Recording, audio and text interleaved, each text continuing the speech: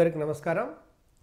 చూడండి ఈరోజు రసాయనిక బంధము అణు నిర్మాణాలు అంటే chemical bond and molecular structures గురించి మనం నేర్చుకోబోతున్నాము. అయితే రసాయనిక బంధము అంటే ఏంటి? రసాయనిక బంధంలో ఏ ఏ రకాలు ఉన్నవి? తర్వాత వీటిలో వచ్చే ఇంకా వివిధ రకాలైనటువంటి అంశాలలో ముఖ్యంగా వెస్పర్ థియరీ సంకరకరణ సిద్ధాంతము అంటే హైబ్రిడైజేషన్ థియరీ వాటితో పాటుగా అణు నిర్మాణాలు వాటి బంధ కోణాలకు సంబంధించినటువంటి అన్ని అంశాలను కూడా మనం చూడబోతున్నాము. డియర్ ఫ్రెండ్స్ యాక్చువల్గా కెమికల్ బాండ్ ఒక యూనిట్ పెద్ద యూనిట్ అయినప్పటికీ కూడా ఇక్కడ మూడు నుంచి నాలుగు ప్రశ్నల దాకా గత ప్రీవియస్ టీఆర్టీ ఎగ్జామినేషన్స్ పేపర్లో గమనించినట్లయితే కొన్ని సందర్భాల్లో మూడు కొన్ని సందర్భాల్లో నాలుగు ప్రశ్నలు ఇస్తున్నారు. కాబట్టి one of the most important యూనిట్గా పీరియాడిక్ టేబుల్ మాదిరిగానే అదే మాదిరిగా రసాయనిక బంధం కూడా మోస్ట్ యూనిట్ ఇంపార్టెంట్ యూనిట్గా మనము తీసుకోవాల్సినటువంటి అవసరం ఉన్నది. కాబట్టి ఫస్ట్ ఫ్రెండ్స్ గమనిద్దాము. రసాయనిక బంధము అంటేంది? అసలు బంధము అంటేంది? బంధించేదాన్ని బంధము అంటారండి. ఏదైనా రెండింటిని బంధించేదాన్ని బంధము అంటారు. ప్రేమ బంధము ఇద్దరు వ్యక్తుల మధ్యన ఉండేది. ఇక్కడ రసాయనిక బంధము రెండు పరమాణువుల మధ్యన ఉండబడే ఆకర్షణ బలము. అంటే రెండు పరమాణువుల మధ్యన ఉండబడే ఆకర్షణ బలాలనే ఒక రసాయనిక బంధము అంటారండి. ఈ రసాయనిక బంధం గురించి మనం నేర్చుకోబోతున్నాము. ఉదాహరణకు హెచ్ టూ అనే అణువును కనుక తీసుకున్నట్లయితే హెచ్ డాష్ హెచ్ రెండు హైడ్రోజన్ పరమాణువుల మధ్యన కొన్ని ఆకర్షణ బలాలు పనిచేస్తున్నాయి. ఆ ఆకర్షణ బలాలనే రసాయనిక బంధము అంటారు. అయితే కన్వీనియన్స్ కోసము రసాయనిక బంధాన్ని చాలా రకాలుగా విభజన చేయటం జరిగింది. అందులో మొదటి భాగంగా నెంబర్ వన్ చూడండి. అయానిక బంధము సమయోజనీయ బంధము సమన్వయ సమయోజనీయ బంధము హైడ్రోజన్ బంధము లోహ బంధము. ఈ ఐదు రకాలుగా విభజన చేసుకొని మనము చదివినట్లయితే సులభంగా రసాయనిక బంధాన్ని అర్థం చేసుకోవడానికి అవకాశం ఉంటుంది. డియర్ ఫ్రెండ్స్ చూడండి. మొట్టమొదటిసారిగా పదార్థాన్ని గురించి కనుక తీసుకున్నట్లయితే ప్రతి పదార్థం అణువులతోని లేదా పరమాణువులతో నిర్మితమై ఉంటుంది అన్నటువంటి విషయం మీకు తెలుసు. పదార్థము అణువులతో నిర్మించబడి ఉంటుంది. పరమాణువులు సంయోగము చెంది అణువులను ఏర్పాటు చేస్తూ ఉంటాయి. పరమాణువులు సంయోగం చెందుతూ ఉంటాయి. ఎందుకు సంయోగం చెందాలా అనేది ఆలోచన చేయండి. పదార్థము పరమాణువుల రూపంలో సాధారణంగా లభ్యమవ్వదు.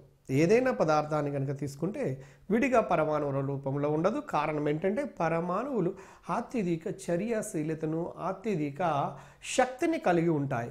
అత్యధిక శక్తి ఉంటే వాటి యొక్క స్థిరత్వం తక్కువగా ఉంటుందండి. స్థిరత్వానికి శక్తికి మధ్యన విలోమ అనుపాత సంబంధం ఉంటుంది. ఒకటి పెరిగితే రెండవది తగ్గుతూ ఉంటుంది. అంటే పరమాణువులకు శక్తి ఎక్కువ కాబట్టి వాటి స్థిరత్వం తక్కువ స్థిరత్వం తక్కువ కలిగినటువంటి పరమాణువులు రసాయనిక బంధాలలో పాల్గొని అణువులుగా మారి శక్తిని తక్కువ చేసుకొని ఎక్కువ స్థిరత్వం కలిగిన అణువులుగా మారుతావి. చూడండి సింపుల్గా గుర్తుపెట్టుకోండి. శక్తికి స్థిరత్వానికి మధ్యన సంబంధము విలోమానుపాత సంబంధము అన్నటువంటి విషయాన్ని మీరు గమనించండి. పదార్థము పరమాణువుల రూపంలో సాధారణంగా లభ్యమవుదు.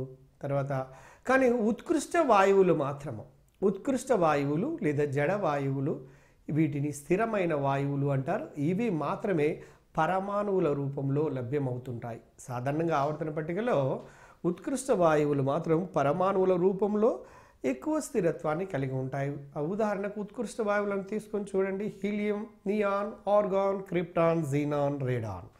ఈ మూలకాలను ఉత్కృష్ట వాయువులు అంటాము.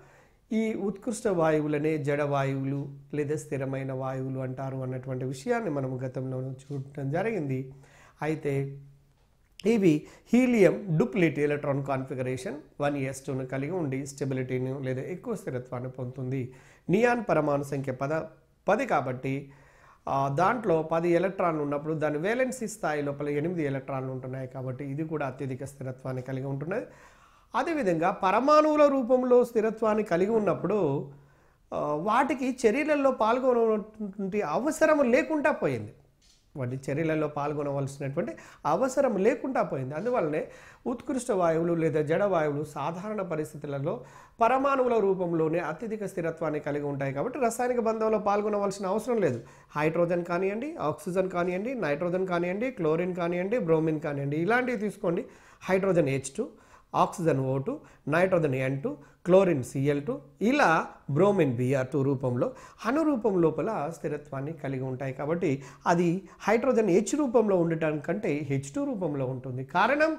అధిక స్థిరత్వం పొందడం కోసం అది చేస్తున్నటువంటి ప్రయత్నం ఫలితమే ఆ ఏర్పడే దాన్నే రసాయనిక బంధంగా మనం భావించవచ్చు. డియర్ ఫ్రెండ్స్ మీరు ఇంకొక విషయాన్ని గమనించండి. ఈ రసాయనిక బంధం లోపల అత్యధిక ఇంపార్టెంట్ పాయింట్స్లో ఉత్కృష్ట వాయువులలో మాత్రమే పరమాణువులు స్వేచ్ఛా స్థితి లోపల ఉంటాయి. గమనించండి జడవాయువులలో మాత్రమే పరమాణువులు స్వేచ్ఛా స్థితిలో విడిగా లభించటానికి అవకాశం ఉంటుంది.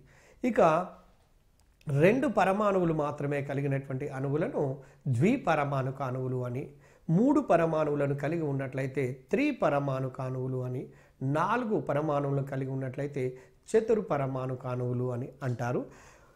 ద్విపరమాణుక అణువులకు ఉదాహరణ మీ అందరికీ తెలుసు. H two O two N two Cl two అలాగనే halogen CX two Br two I two మొదలైనటువంటి వాటన్నిటిని తీసుకోవచ్చు అని నిరంతరం వాటి గురించి మనము చదువుతూనే ఉన్నాము.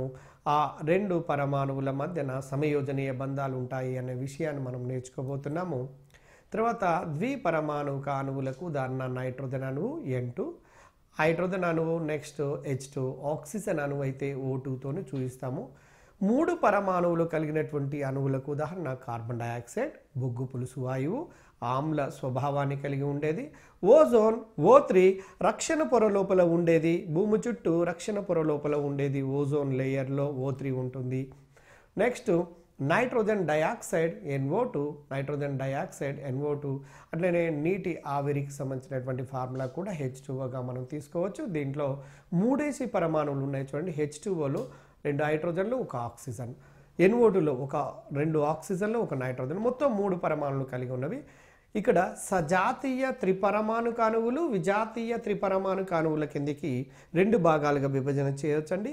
సజాతీయ త్రిపరమాణు కాణువులకు ఉదాహరణకు ఓ త్రీ తీసుకోవచ్చు. ద బెస్ట్ ఎగ్జాంపుల్ చాలా సందర్భాల్లో అడిగాడండి ఓజోన్ యొక్క ఫార్ములా ఓ త్రీ ఓజోన్ లోపల ఉండబడే పరమాణువుల సంఖ్య రెండు ఓజోన్ యొక్క రెజనెన్స్ రూపాలు రెండు. అదేవిధంగా నెక్స్ట్ తర్వాత చూడండి విజాతీయ త్రిపరమాణు కాణువులకు CO2 టూ అంటే విజాతీయ అంటే వేరు వేరు పరమాణువులతో నిర్మితమై ఉన్నట్లయితే విజాతీయ పరమాణువులు అంటారండి. సింపుల్గా అర్థం చేసుకోవచ్చు. Chemical bond very interesting unit and అతి త్వరగా ఎక్కువగా అటెంప్ట్ చేయడానికి అవకాశం ఉండబడే యూనిట్ కూడా కెమికల్ బాండే అండి. సల్ఫర్ విషయానికి వచ్చినట్లయితే సల్ఫర్ ఎస్ ఎయిట్ ఎనిమిది సల్ఫర్ పరమాణువులను కలిగి ఉంటుంది. ఇది ఎలా అంటే పక్కాడ్ స్ట్రక్చర్ అంటే క్రౌన్ స్ట్రక్చర్ కిరీట రచన నిర్మాణాన్ని కలిగి ఉంటుంది అన్నటువంటి విషయం మీ అందరికీ తెలుసు. అదే భాస్పరం తీసుకున్నట్లయితే లేదా పాస్పరస్ అంటారు. దీని యొక్క అణు పీ పి ఫోర్ దీనిలో నాలుగు భాస్పరపు పరమాణువులను కలిగి ఉంటుంది అన్నటువంటి విషయం మీ అందరికీ తెలిసిందే. చతురు పరమాణు కాణువులకు ఉదాహరణ భాస్పరము లేదా పాస్పరస్ అష్ట పరమాణు కాణువులను కలిగి ఉన్నటువంటి అణువులకు ఉదాహరణ సల్ఫర్. ఇది వలయ నిర్మాణాన్ని కలిగి ఉంటుందండి పక్కర్డ్ స్ట్రక్చర్ను కలిగి ఉంటుంది. తర్వాత దీనితో పాటుగా నెక్స్ట్ ఇంకొక విషయాన్ని గమనించండి. ప్రోటీన్ వంటి అణువులను కొన్ని వేల పరమాణువులను కలిగి ఉంటుందండి. మీకు ప్రోటీన్స్ గురించి చక్కగా ఒక యూనిట్ మొత్తమే చదువుకున్నాము. ఆ యూనిట్లో అనేక అమైనో ఆమ్లాల కలయిక వలన ఒకటి రెండు కాదు అనేక అమైనో ఆమ్లాల కలయిక వలన అమైనో ఆమ్లం అంటే ఏందో మీకు తెలుసు. ఏదైనా ఒక కర్బన సమ్మేళనంలో అమైనో ప్రమేయ సమూహము మరియు కార్బాక్సిలిక్ సిఓహెచ్ ప్రమేయ సమూహాలు రెండు గనుక ఉన్నట్లయితే అటువంటి కర్బన సమ్మేళనాలను అమైనో ఆమ్లాలు అంటారు. అనేక అమైనో ఆమ్లాల యొక్క కలయిక వలన చివరికి ఎక్కువ అనుభారం కలిగినటువంటి ఒక ప్రోటీన్ ఏర్పడుతుందని ఇది సంఘనన పాలిమరీకరణం వల్ల ఏర్పడుతుందని పాలిమరీ కెమిస్ట్రీలో మనం స్పష్టంగా చూడటం జరిగింది. కాబట్టి ప్రోటీన్ వంటి అణువులు కొన్ని వేల పరమాణువులను కలిగి ఉంటున్నాయి అన్నటువంటి విషయాన్ని మనం మర్చిపోవద్దు. తర్వాత డియర్ ఫ్రెండ్స్ వజ్రానికి కనుక మనము తీసుకొని చూసినట్లయితే వజ్రం అన్నది ఒకదానితో ఒకటి సంబంధించబడినటువంటి అనేక కర్బన పరమాణువుల సముదాయము. ఈ విధంగా ఏర్పడినటువంటి పరమాణు సముదాయాన్ని మహా అణువు అంటారు. ఈ విధంగా ఏర్పడినటువంటి పరమాణువుల సముదాయాన్ని మహా అణువు అంటారు. దీన్ని ఒక పాలిమర్గా చెప్పొచ్చు. ఇనార్గానిక్ పాలిమర్స్ కిందకి మనం తీసుకోవచ్చు. దీనికి ఎగ్జాంపుల్ డైమాండ్. దీని లోపల యూనిట్ సెల్ ఏంటంటే కార్బన్. ఎందుకంటే బేసిక్ యూనిట్ అనేది కార్బన్. ఎక్కడ కూడా మొత్తం కూడా పునరావృతమయ్యే ఈ కార్బన్ పరమాణువులే కాబట్టి మనము దీని యొక్క బేసిక్ యూనిట్ అయినటువంటి కార్బన్గా మనము గమనించవచ్చు. తర్వాత పరమాణువుల మధ్యన చూడండి పరమాణువుల మధ్యన ఆకర్షణ వికర్షణల వలన రసాయనిక బంధం ఏర్పడుతుంది. రసాయనిక బంధం ఎప్పుడు ఏర్పడుతుంటుంది అంటే ముఖ్యంగా పరమాణువుల మధ్యన ఆకర్షణ బలాలు పనిచేస్తుంటాయండి. ఆ ఆకర్షణ బలాల మధ్యన ఆకర్షణ బలాలు మరీ దగ్గరికి అయినప్పుడు మళ్ళీ వికర్షణ అనేది స్టార్ట్ అవుతుంటుంటుంది. కాబట్టి పరమాణువుల మధ్యన నియమితమైనటువంటి ఆకర్షణ బలాలు పనిచేసినప్పుడు ఆ పరమాణువుల మధ్యన ఒక రసాయనిక బంధం ఏర్పడుతుంది. అది అయానిక బంధం కావచ్చు సమయోజనీయ బంధం కావచ్చు సమన్వయ సమయోజనీయ బంధం కావచ్చు ఇంకా ఇతర ఏ బంధాలైనా కావచ్చు అండి అణువులలోని పరమాణువుల మధ్యన ఆకర్షణ బలాలు ఉంటాయి అన్నటువంటి విషయం మీకు అర్థమవుతుంది ఈ ఆకర్షణ శక్తి అనేది ఏంటిదో కాదు రసాయనిక బంధము. అంటే attraction between the any two atoms is nothing but chemical bond రసాయనిక బంధం అనేది ఏర్పడాలంటే రెండు పరమాణువుల మధ్యన ఆకర్షణ బలాలు పనిచేస్తున్నాయి అన్నటువంటి విషయం మన అందరికీ తెలిసినటువంటిదే. తర్వాత అణువులలో పరమాణువులు లేక ఆయానులు లేక ఈ ఇమిడి ఉంటాయి. అంటే అణువులలో అణువు అనే పదం దానికంటే ముందు ఇక్కడ గమనించండి. కార్బన్ అంటే డైమండ్ లాంటిది కనుక తీసుకున్నట్లయితే కార్బన్ పరమాణువులు ఇంకో కొన్నిట్లలో అణువులు ఉండవచ్చు. ఇంకో కొన్నిట్లలో సమ్మేళనాల లోపల ఆయాన్లు బేసిక్ యూనిట్స్గా ఉండటానికి అవకాశం ఉంటున్నవి పరమాణువులు రసాయనిక బంధంలో పాల్గొనడం వల్ల రసాయనిక సమ్మేళనాలు ఏర్పడుతున్నాయండి. ఇప్పటి వరకు మనకు తెలిసినటువంటి మూలకాల సంఖ్య మీ అందరికీ తెలుసు. సుమారుగా నూట పదిహేను కంటే ఎక్కువగా ఉన్నట్టుగా మీకు అర్థమవుతున్నది. రసాయనిక బంధము యూనిట్ లోపల మనకి ఇవ్వబడినటువంటి ఇన్ఫర్మేషన్ ప్రకారం టెన్త్ క్లాస్లో మీకు స్పష్టంగా ఇవ్వటం జరిగింది. అటువంటి ఈ మూలకాలు అధిక చర్యాశీలతను కలిగి ఉండుట వలన వాటి మధ్యన రసాయనిక బంధాలు ఏర్పడి కొన్ని లక్షల మిలియన్ల బిలియన్ల సమ్మేళనాలు ఏర్పడి రసాయనిక శాస్త్రం డెవలప్మెంట్కు కారణమైంది. కాబట్టి ఇన్ని సమ్మేళనాలను ఒకే భాగంలో చదవడం కష్టం కాబట్టి వాటిని వర్గీకరణ చేసి కర్బన రసాయనిక శాస్త్రము మూలక రసాయనిక శాస్త్రము లేదా అకర్బన రసాయనిక శాస్త్రము భౌతిక రసాయనిక శాస్త్రము అలానే language concepts of chemistry language of chemistry అనే విధంగా విడివిడిగా మనము చదవటం జరుగుచున్నది. జరుగుతున్నది అయితే అసలు పరమాణువులు ఎందుకు సంయోగం చెందాలి? ఏ విధంగా సంయోగం చెందావి అనేది? అసలు ఎందుకు చెందవలసినటువంటి అవసరం ఏంది? పరమాణువులు ఎందుకు బంధాలలో పాల్గొనాలి?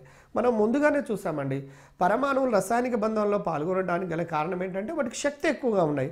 శక్తి ఎక్కువగా ఉన్నాయి స్థిరత్వం తక్కువగా ఉంటుంది. స్థిరత్వం తక్కువగా ఉంటే ఈ భూమి మీద పుట్టినటువంటి ప్రతి జీవి ప్రతి ప్రాణి ప్రాణరహితమైనటువంటి పరమాణువులతో సహితము కూడా అవి అత్యధిక స్థిరత్వాన్ని పొందటం కోసమే ప్రయత్నం చేస్తుంటాయి. కాబట్టి ఇక్కడ పరమాణువులు కూడా ప్రాణము లేనటువంటి పరమాణువులు కూడా అత్యధిక స్థిరత్వాన్ని పొంది స్థిరంగా స్టేబుల్గా ఉండటానికి ప్రయత్నం చేస్తాయి. ఎందుకు అంటే వాటికి శక్తి ఎక్కువగా ఉంటుంది కాబట్టి శక్తిని తగ్గించుకున్నట్లయితే రసాయనిక బంధంలో పాల్గొని అణువులుగా మారే అవకాశం ఉంటుంది. కాబట్టే అవి పరమాణువులు అణువులుగా మారటానికి కారణమవుతున్నవి అన్నటువంటి విషయాన్ని గమనించండి. డియర్ ఫ్రెండ్స్ uh, ఇక్కడ గమనించండి. బాహ్యతమ కక్షలో ఎనిమిది ఎలక్ట్రాన్లు కల పరమాణువులన్నీ అత్యధిక స్థిరత్వాన్ని కలిగి ఉంటాయండి. హీలియం మినహాయించి ఇతర జడవాయువులలో అన్నిట్లలో ఎనిమిది ఎలక్ట్రాన్లు ఉంటాయండి. హీలియం మినహాయించి. హీలియం యొక్క పరమాణు సంఖ్యనే రెండాయి. అటువంటప్పుడు దాని యొక్క వేలెన్సీ స్థాయిలో ఎనిమిది ఎలక్ట్రాన్లు ఎట్లా ఉంటాయండి? కాబట్టి only the helium has duplet electronic configuration number of times has I sir you very clearly about the helium electronic configuration its electronic configuration is only 1 s 2 therefore అప్పుడు మనం ఎలా చెప్పొచ్చు అంటే చూడండి హీలియం యొక్క ఎలక్ట్రాన్ విన్యాసం వన్ ఎస్ టూ అయితే మిగిలినటువంటి మూలక పరమాణువుల యొక్క వేలెన్సీ స్థాయి ఎలక్ట్రాన్ విన్యాసాన్ని గమనిస్తే ఎన్ఎస్ టు ఎన్పి సిక్స్ ఉంటున్నాయి కాబట్టి ఇవి అష్టక నియమాన్ని పొందుతున్నాయి కాబట్టి అత్యధిక స్థిరత్వాన్ని కలిగి ఉంటున్నట్టుగా మనకు అర్థమవుతున్నది. అందువల్లనే సాధారణమైన పరిస్థితుల వద్ద రసాయనిక బంధాల్లో జడవాయువులు అనేవి పాల్గొనవు కాబట్టి శాస్త్రవేత్తలు చేసింది ఏంటంటే వాటికి అత్యధిక శక్తిని అందించి అత్యధిక శక్తిని అందించినప్పుడు వేలించి స్థాయి లోపల ఉండబడినటువంటి ఎలక్ట్రాన్లు ఉద్రిక్త స్థాయి లోపలికి పోయి ఒంటరి ఎలక్ట్రాన్లుగా మారిన తర్వాత మాత్రమే రసాయనిక బంధాల్లో పాల్గొంటున్నాయి అన్నటువంటి విషయాన్ని మీరు మర్చిపోవద్దు. తర్వాత డియర్ ఫ్రెండ్స్ అత్యధిక స్థిరత్వం కలిగినటువంటి పరమాణువులు తక్కువ చర్యాశీలతను కలిగి ఉంటాయి. ఉదాహరణకు జడవాయువులు. హీలియం మినహాయిస్తే మిగిలినటువంటి జడవాయువుల మూలకాల బాహ్య కక్షల లోపల ఎనిమిది ఎలక్ట్రాన్లు ఉంటాయి అన్నటువంటి ఇన్ఫర్మేషన్ మనం ఇప్పుడే చూసాము తర్వాత చూడండి పరమాణువుల యొక్క రసాయనిక ప్రవృత్తి లేదా రసాయనిక క్రియాశీలత దాని బాహ్య కక్షలో ఉన్న ఎలక్ట్రాన్లపై ఆధారపడి ఉంటుంది. అంటే the reactivity of the atoms depends upon the presence of the number of the unpaired electrons or paired electrons or electrons present in the valency shell ఒక పరమాణువు యొక్క వ్యాలెన్సీ స్థాయి లోపల ఉండబడినటువంటి ఎలక్ట్రాన్ల మీదనే ఆ పరమాణువు యొక్క రసాయనిక శక్తి ఆధారపడి ఉంటుంది అనటానికి నిదర్శనంగా మనకు ఎన్నో ఉదాహరణలు మనం చూడబోతున్నాము. అంటే పరమాణువు లోపల ఒంటరి ఎలక్ట్రాన్లు కనుక ఉన్నట్లయితే అవి ఎక్కువగా చర్యలలో పాల్గొంటాయి. పరమాణువులు జతగూడిన ఎలక్ట్రాన్లు కనుక కలిగి ఉన్నట్లయితే చర్యలలో తక్కువగా పాల్గొంటాయి అన్నటువంటి విషయాన్ని మనం గమనిస్తూ ఉంటాము. తర్వాత ఇక్కడ గమనించండి. సంయోజక ఎలక్ట్రాన్లు లేదా వేలెన్సీ ఎలక్ట్రాన్లు పరమాణువు యొక్క బాహ్యతమ కక్షలో ఉన్న ఎలక్ట్రాన్లను సంయోజక ఎలక్ట్రాన్లు అంటారు. ఇక్కడ ఒక పదాన్ని గమనించండి. సంయోజక ఎలక్ట్రాన్లు లేదా వేలెన్సీ ఎలక్ట్రాన్స్ అని వేటిని అంటారంటే ఒక పరమాణు యొక్క చివరి కక్ష. ఇది కేంద్రకం అనుకోండి. ఫస్ట్ కక్ష రెండవది మూడవది నాలుగవది. నాలుగవ కక్షలో ఎన్ని ఎలక్ట్రాన్లు ఉంటే ఆ దాని యొక్క వేలెన్సీ కక్ష దాని యొక్క వేలెన్సీ ఎలక్ట్రాన్లు అంటారు. వేలెన్సీ స్థాయి అంటే చివరి కక్ష. వేలెన్సీ ఎలక్ట్రాన్లు అంటే చివరి కక్ష లోపల ఉండబడినటువంటి ఎలక్ట్రాన్లు అండి. ఓకే. మీరు దాని తర్వాత ఇంకొక విషయాన్ని గమనిద్దాము. ఎలక్ట్రాన్ విన్యాసం గురించి మనం చూసినట్లయితే పరమాణువులు పరమాణువులలో ఎలక్ట్రాన్లు ఏ ఆర్బిటాలలో నిండి ఉన్నాయో తెలిపేదాన్ని ఎలక్ట్రాన్ విన్యాసము అంటారండి. పరమాణువులలో ఎలక్ట్రాన్లు ఏ ఆర్బిటాలలో నిండి ఉంటున్నాయో తెలిపేదాన్ని ఏమంటారంటే ఎలక్ట్రాన్ విన్యాసము అంటారు. లేదా పరమాణువులలోని ఎలక్ట్రాన్లన్నీ కేంద్రకం చుట్టూ నిర్దిష్టమైనటువంటి కక్షలలో ఏ విధంగా అమరి ఉన్నాయో తెలిపే దాన్ని ఎలక్ట్రాన్ విన్యాసం అంటారు. అంటే డిస్ట్రిబ్యూషన్ ఆఫ్ ద ఎలక్ట్రాన్. పరమాణువు చుట్టూ వివిధ ఆర్బిటాల లోపల ఏ విధంగా ఎలక్ట్రాన్లు అడ్జస్ట్ అయి ఉన్నాయని తెలియచేసే దాన్నే ఎలక్ట్రాన్ విన్యాసము అంటారు. ఎలక్ట్రాన్ విన్యాసము కనుక మనకు తెలిసినట్లయితే ఒక మూలకం యొక్క ఎలక్ట్రాన్ విన్యాసం తెలిసినట్లయితే అందులో ఎలాంటి రసాయనిక బంధము సమయోజనీయ బంధం ఏర్పడుతుందా అయానిక బంధం ఏర్పడుతుందా సమయోజనీయ సమన్వయ సమయోజనీయ బంధం ఏర్పడుతుందా అనే విషయాలు మనం ఈజీగా గుర్తుపెట్టుకోవడానికి అవకాశం ఉంటుంది. ఒక నిర్ణీత కక్ష లోపల అమర్చడానికి వీలైనటువంటి ఎలక్ట్రాన్ల సంఖ్య టూ ఎన్ స్క్వేర్ అండి. ఇక్కడ ఒక నిర్ణీత కక్ష లోపల అమర్చడానికి వీలైనటువంటి ఎలక్ట్రాన్ల సంఖ్య టూ ఎన్ స్క్వేర్. ఫ్రెండ్స్ మీరు గమనిస్తూనే ఉన్నారు ఒక నిర్ణీత కక్ష లోపల అమర్చడానికి వీలైనటువంటి ఎలక్ట్రాన్ల సంఖ్య టూ ఎన్ స్క్వేర్ ఉంటాయండి. ఉదాహరణకు మొదటి కక్షలో కే అనే కక్షలో ఎన్ ఇజ్ ఈక్వల్ వన్ అయినప్పుడు టూ ఎన్ స్క్వేర్ కాబట్టి టూ ఇంటూ వన్ స్క్వేర్ అంటే రెండు ఎలక్ట్రాన్లు ఉంటాయండి మొదటి కక్షలో. రెండవ కక్షలో అదే విధంగా మీరు చూడండి. టూ ఎన్ స్క్వేర్ అంటే two into two four into two eight electrons ఉంటాయి. ఆ విధంగా మూడవ కక్షలో నాలుగవ కక్షలో ఎన్నెన్ని ఎలక్ట్రాన్లు ఉంటాయి అనే విషయం మనకు అర్థమవుతుంది. మొదటి కక్షలో ఎన్ వన్ అయినప్పుడు దీంట్లో ఉండబడే వీలైనటువంటి ఎలక్ట్రాన్ల సంఖ్య టూ ఎన్ స్క్వేర్ ఇప్పుడు చూడండి రెండవ కక్షలో ఉన్నదైతే టూ ఎన్ స్క్వేర్ ప్రకారం టూ ఇంటూ టూ స్క్వేర్ అంటే మొత్తం ఎనిమిది ఎలక్ట్రాన్లు ఉంటున్నవి తర్వాత గమనించండి. పరమాణువులు బాహ్య కర్పరంలో ఎనిమిది ఎలక్ట్రాన్లు ఉంచుకోవడానికి ప్రయత్నించే స్వభావం వలన రసాయనిక సంయోగం మరియు బంధాలు ఏర్పడుతున్నాయి. పరమాణువులు బాహ్య కరపరం లోపల అంటే వేలెన్సీ స్థాయి లోపల ఎనిమిది ఎలక్ట్రాన్లు ఉంచుకోవాలని ప్రయత్నం చేస్తుంటుంది. ఆ ప్రయత్న స్వభావమే ఆ ప్రయత్న ఫలితమే మనకు రసాయనిక బంధం ఏర్పడుతుంది అన్నటువంటి విషయం మనకు అర్థమవుతుంది. తర్వాత ఉదాహరణకు ఇక్కడ చూడండి హైడ్రోజన్ లీథియం స్థిర విన్యాసానికి అవసరమైనటువంటి ఎలక్ట్రాన్లు రెండు అండి. హైడ్రోజన్ అంటే హెచ్ వన్ ఎస్ వన్గా రాస్తాము. లీథియంకు one S two two S one electron విన్యాసాన్ని రాస్తాము. అయితే ఇక్కడ మీరు గమనించాల్సింది ఏంటంటే అక్కడ హైడ్రోజన్ రెండు ఎలక్ట్రాన్లను కలిగి ఉంటుంది. ఫ్రెండ్స్ మీరు గమనిస్తూనే ఉన్నారు కదా హైడ్రోజన్ పరమాణువులోనైతే ఒక ఎలక్ట్రాన్ కలిగి ఉంటుంది. హైడ్రోజన్ అణువులోనైతే రెండు ఎలక్ట్రాన్లను కలిగి ఉంటుంది. అంటే H plus H gives rise to H two అంటే one S one plus one S one gives rise to one S two అంటే హైడ్రోజన్ యొక్క అణువు లోపల రెండు ఎలక్ట్రాన్లను కలిగి ఉంటుంది కాబట్టి అనురూపంలో ఎక్కువ స్థిరత్వాన్ని కలిగి ఉంటున్నట్టుగా అర్థమవుతున్నది. అందువల్లనే రెండు హైడ్రోజన్ పరమాణులు కలిసి సంయోగం చెంది ఒక రసాయనిక బంధాన్ని సమయోజనీయ బంధాన్ని ఏర్పరచుకొని హెచ్ టూ అణువుగా మారుతున్నాయి అన్నటువంటి విషయము మీకు తెలిసినటువంటిదే. తర్వాత పరమాణువుల యొక్క బాహ్య కర్పణము లోపల ఉండబడే ఎలక్ట్రాన్లు అంటే వేలెన్స్ ఎలక్ట్రాన్లు మాత్రమే రసాయనిక బంధాల్లో పాల్గొంటాయండి. ఇన్ జనరల్గా మీరు చూడండి. ఇప్పుడు ఒక పరమాణు ఈ విధంగా కనుక ఉన్నట్లయితే గోళాకారంలో మధ్య భాగంలో కేంద్రకం ఉంటే మొదటి కక్ష రెండవ కక్ష మూడవ కక్ష నాలుగవ కక్ష. చివరి కక్ష లోపల ఉండబడినటువంటి ఎలక్ట్రాన్లు మాత్రమే రసాయనిక బంధాలలో పాల్గొంటాయి. కారణం ఏంటో తెలుసా? చివరి కక్ష లోపల ఉండబడినటువంటి ఎలక్ట్రాన్లు కేంద్రకంతోని తక్కువ ఆకర్షణకు లోనై ఉంటాయి. అంటే very less attraction towards of the nucleus కాబట్టి ఆటోమేటిక్గా వేలెన్సీ స్థాయిలో లేదా చివరి కక్ష లోపల ఉండబడిన ఎలక్ట్రాన్లు మాత్రమే రసాయనిక బంధాల్లో పాల్గొంటాయి అన్నటువంటి విషయం మనకు అర్థమవుతున్నది. కాబట్టి వేలెన్సీ ఎలక్ట్రాన్లను సూచించడానికి జిఎన్ లూయిస్ చూడండి లూయిస్ అనే శాస్త్రవేత్త ఒక సరళమైన పద్ధతిని సూచించాడండి. ఆ సరళమైనటువంటి పద్ధతి ద్వారా మనము దేనిలో ఎన్ని వేలెన్స్ ఎలక్ట్రాన్ ఉంటున్నాయో మనం చెప్పొచ్చు. లీథియాన్ని తీసుకుంటే ఒక వేలెన్స్ ఎలక్ట్రాన్ ఉంటుంది కాబట్టి ఒక డాట్తోని అదే బెరీలియంను కనుక తీసుకున్నట్లయితే బెరీలియం లోపల రెండు వేలెన్స్ ఎలక్ట్రాన్లు ఉంటున్నట్టుగా గమనించవచ్చు అదేవిధంగా బోరాన్ను చూడండి మీరు స్క్రీన్ పైన అబ్జర్వ్ చేయండి. సింపుల్గా అర్థమైపోతుందండి. బోరాన్ థర్డ్ ఏ గ్రూప్ మూలకము. బోరాన్ అల్యూమినియం గ్యాలియం ఇండియం థాలియములు మీకు తెలుసు. అయితే boron NS two NP one కాబట్టి వేలెన్సీ స్థాయిలో మూడు ఎలక్ట్రాన్లు ఉంటాయి కాబట్టి ఇది ఉద్రిక్త స్థాయి లోపల జతగూడిన ఎలక్ట్రాన్లు ఒంటరి ఎలక్ట్రాన్లుగా మారుతాయండి. అందువల్ల బోరాన్ చుట్టూ మూడు ఎలక్ట్రాన్లు రాస్తున్నాము గమనించండి. అందువల్లనే బీసీఎల్ త్రీ లాంటి బిఎఫ్ త్రీ లాంటి సమ్మేళనాలు ఏర్పడతాయి అన్నటువంటి విషయం తెలుసు. ఇక కార్బన్ విషయానికి వస్తే కార్బన్ కూడా నాలుగో గ్రూపు మూలకం కాబట్టి దాని వేలెన్సీ స్థాయి లోపల నాలుగు ఎలక్ట్రాన్లు ఉన్నాయి కాబట్టి కార్బన్ చుట్టూ చూడండి నాలుగు డాట్స్ లేదా నాలుగు క్రాస్ గుర్తులతోనే చూపిస్తాము నైట్రోజన్ ఫిఫ్త్ గ్రూప్ కాబట్టి అంటే ఒక మూలకము ఏ గ్రూపుకు చెందుతుందో చూడాలి అంటే దాని వేలెన్సీ స్థాయి లోపల ఎన్నైతే ఎలక్ట్రాన్లు ఉంటాయో అది గ్రూప్ నెంబర్కి సమానం అవుతుంది. నైట్రోజన్ ఫిఫ్త్ గ్రూప్ మూలకం అండి. కాబట్టి దాని వేలెన్సీ స్థాయిలో ఎన్ని ఎలక్ట్రాన్లు ఉంటాయి? ఐదు ఎలక్ట్రాన్లు ఉంటాయి అన్నది మనకు స్పష్టంగా అర్థమవుతుంది. Whereas in case of the oxygen it has only six electron because it is belonging to the group of the sixth or చాల్కోజెన్స్కి సంబంధించిందండి. ఆరో గ్రూప్ కాబట్టి ఆక్సిజన్ యొక్క వేలెన్సీ స్థాయిలో ఆరు ఎలక్ట్రాన్లు ఫ్లోరిన్ చూడండి ఫ్లోరిన్ ఏడో గ్రూప్ కాబట్టి దాని యొక్క వేలెన్సీ స్థాయి లోపల ఏడు ఎలక్ట్రాన్లు మాత్రమే ఉంటాయండి. అక్కడ డాట్ మీకు ఒకటి ఎక్స్ట్రాగా కనపడుతుంది.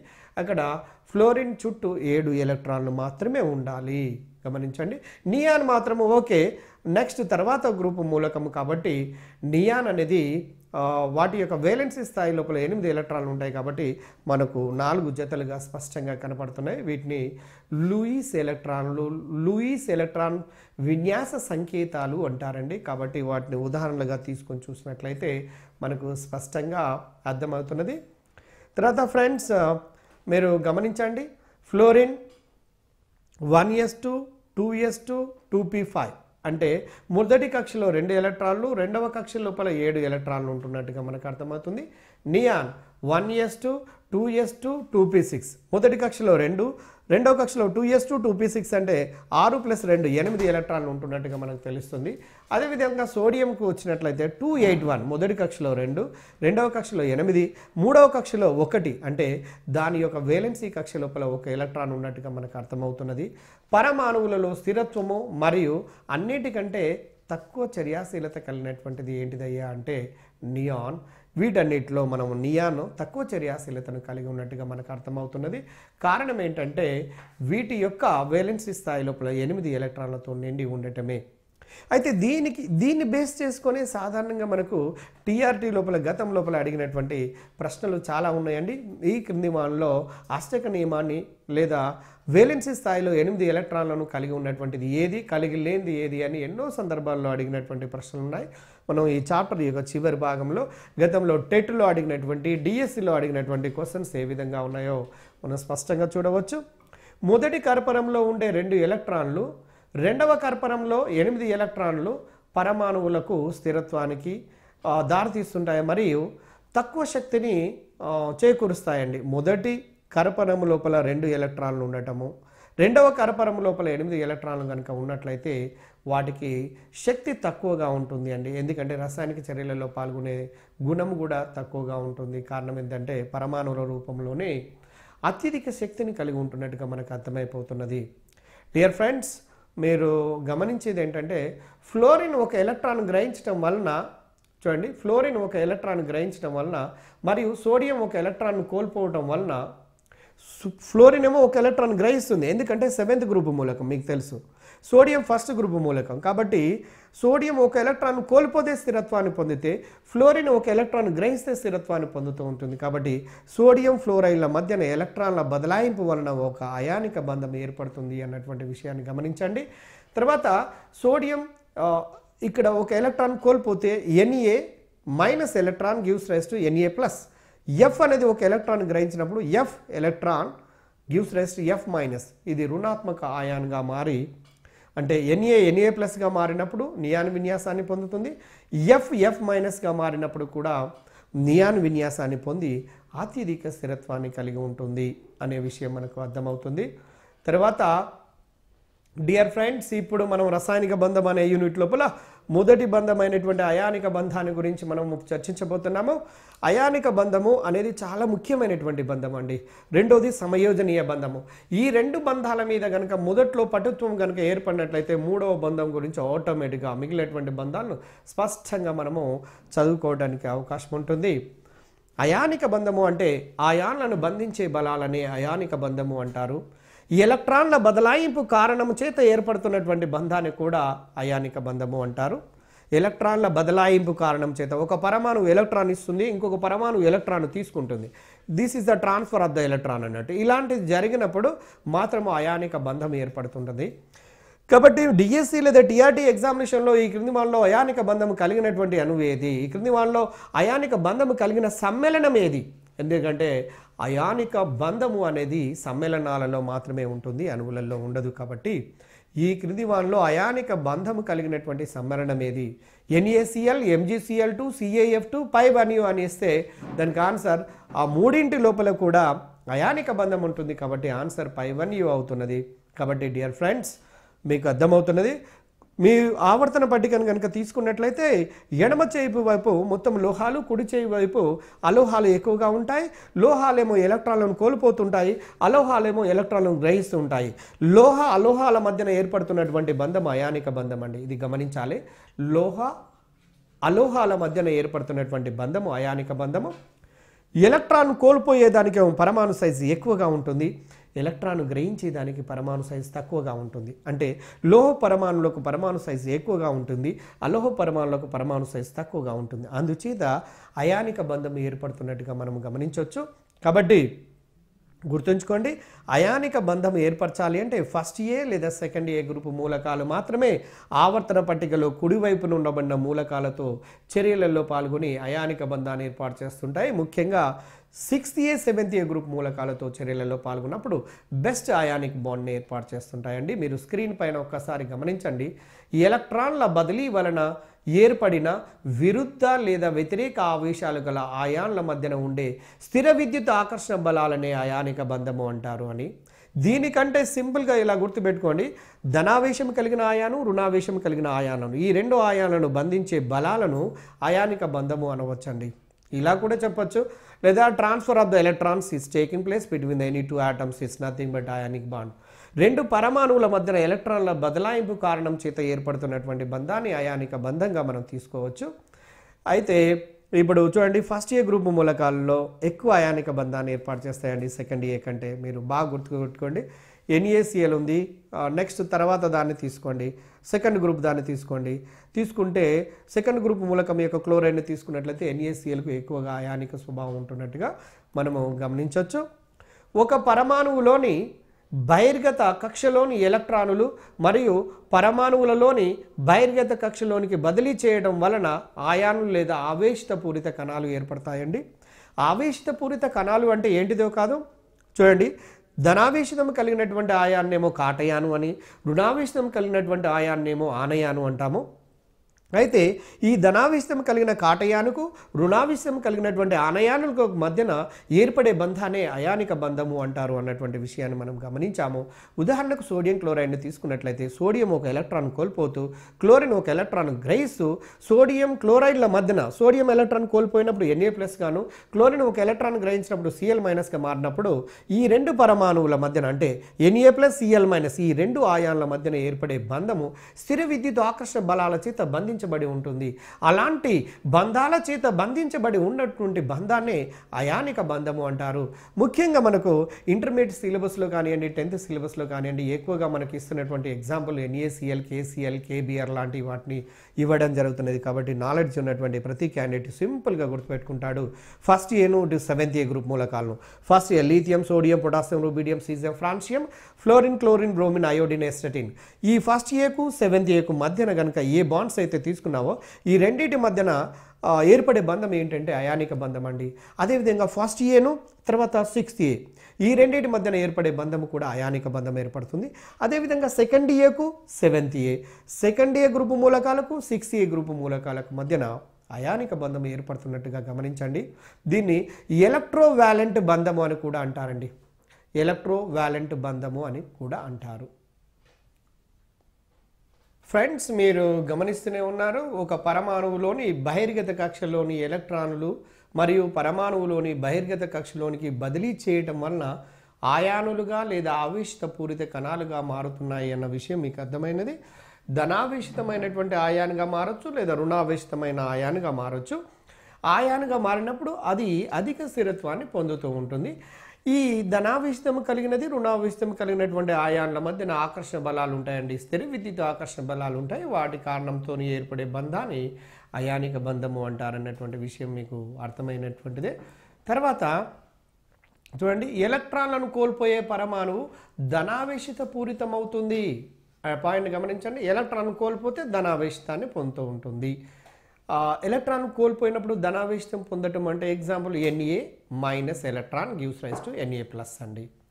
అంటే ధనావేశం కలిగిన ఆయానుగా మారుతుంది. ఎలక్ట్రాన్లను గ్రహించే పరమాణువు రుణావేశిత ఆయానుగా మారుతుంది. రుణావేశిత పూరితం అవుతుంది అంటే నెగిటివ్ ఆయానుగా మారుతుంది. ఎలక్ట్రాన్ కోల్పోతే పాజిటివ్ ఎలక్ట్రాన్ గ్రహిస్తే నెగిటివ్ ఈ పాజిటివ్ నెగిటివ్ల మధ్యన ఏర్పడే బంధం ఆయానిక బంధము. సింపుల్గా గుర్తుంచుకోవచ్చు. తర్వాత క్షారలోహ పరమాణువులు నీకు తెలుసు? క్షారలోహ పరమాణు లిథియం సోడియం పొటాషియం రుబీడియం సీజియంలను కనుక తీసుకున్నట్లయితే వాటి బాహ్య స్థాయి లోపల చూడండి ఒక ఎలక్ట్రాన్లను కోల్పోవటం వలన బాహ్య కరపరంలో ఎనిమిది ఎలక్ట్రాన్లను కలిగి ఉండే అవకాశం ఉంటాయి కాబట్టి always they have the tendency to lose the only one electron this is only in order to get the stability electronic configuration మీ అందరికీ తెలిసినటువంటి విషయం ఏంటంటే క్షారలోహాల చివరి కక్షలో ఒక ఎలక్ట్రాన్ ఎక్స్ట్రా ఉంటుందండి. అది కనుక కోల్పోతే అధిక స్థిరత్వాన్ని పొందగలుగుతాయి. అదే మరికొన్ని పరమాణువులో ఒక ఎలక్ట్రాన్ తక్కువ ఉన్నటువంటి ఇవి రెండు ఎలక్ట్రాన్లు తక్కువ ఉన్నటువంటివి ఉంటాయి. ఏదైతే ఒక ఎలక్ట్రాన్ తక్కువ ఉంటున్నాయో ఉదాహరణకు హాలోజన్లు సెవెంత్ ఏ గ్రూప్ మూలకాలు ఫ్లోరిన్ క్లోరిన్ బ్రోమిన్ అయోడిన్లు ఇవి ఎలక్ట్రాన్ గ్రహిస్తావి నెగిటివ్ ఆయన్గా ఇవి ఎలక్ట్రాన్ కోల్పోతావి పాజిటివ్ ఆయన్గా మారుతాయి. మొత్తము మనం ఇప్పుడు డిస్కషన్ అంతా కూడా మనం జరుగుతున్నది అయానిక బంధం గురించే కాబట్టి దాన్ని అయానిక బంధానికి ఉదాహరణలు గుర్తుపెట్టుకోవాలంటే తెలుగు కలిగినటువంటి విద్యార్థి ఇలా గుర్తుపెట్టుకోండి. ఫస్ట్ ఏ గ్రూప్ మూలకాలు మరియు సెవెంత్ ఏ గ్రూప్ మూలకాలు. వాటిని కలపండి. ఫస్ట్ ఇయర్లో ఉదాహరణకు లీథియం తీసుకుందాము. సెవెంత్ ఇయర్లో ఫ్లోరిన్ క్లోరిన్ బ్రోమిన్ అయోడిన్ ఇలా తీసుకున్నాం. Lithium fluoride lithium chloride lithium bromide lithium iodide. అట్లనే సోడియం తీసుకోండి. Sodium fluoride sodium chloride sodium bromide sodium iodide. Potassium తీసుకోండి. Potassium chloride potassium bromide potassium iodide. అట్లా రుబిడియం తీసుకుంటారు. Rubidium fluoride rubidium chloride rubidium bromide rubidium iodide. ఎన్నండి అదేవిధంగా second A group మూలకాలకు seventh A group మూలకాలకు మధ్యన ఎన్ని వందల కొలది ఎగ్జాంపుల్ రాయొచ్చండి. అక్కడ కాన్సెప్ట్ దొరకటం అనేది చాలా ముఖ్యమైనటువంటి విషయంగా మనం భావించాలి.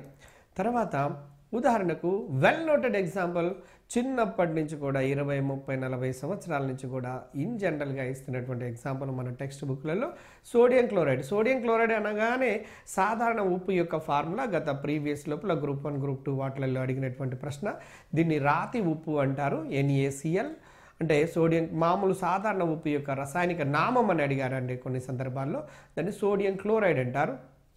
అయితే సోడియం పరమాణువు ఒక ఎలక్ట్రాన్ కోల్పోయి సమీప జడవాయు విన్యాసము అంటే సమీప జడవాయువు అయినటువంటి నియాన్ విన్యాసాన్ని పొందుతూ ఉంటుంది. అదేవిధంగా నెక్స్ట్ దాని కింద గమనించండి సోడియంను కనుక చూసినట్లయితే సోడియం ఒక పరమాణువు కోల్పోవడం వల్ల ఎన్ఏ ప్లస్గా ఎలా మారుతుందో ఒకసారి చూడండి. సోడియం ఇక్కడ ఒక ఎలక్ట్రాన్ కోల్పోవడం ఎన్ఏ తర్వాత మైనస్ ఎలక్ట్రాన్ అండి ఇక్కడ. ఎన్ఏ తర్వాత మైనస్ ఎలక్ట్రాన్ కోల్పోవడం వల్ల ఎన్ఏ ప్లస్గా మారుతుందండి అక్కడ. కాబట్టి మనం గమనించాల్సింది సోడియం సోడియం అనేది ఎన్ఏ ప్లస్గా మారి అధిక స్థిరత్వాన్ని పొందుతూ ఉంటుంది అన్నటువంటి విషయాన్ని గమనించండి.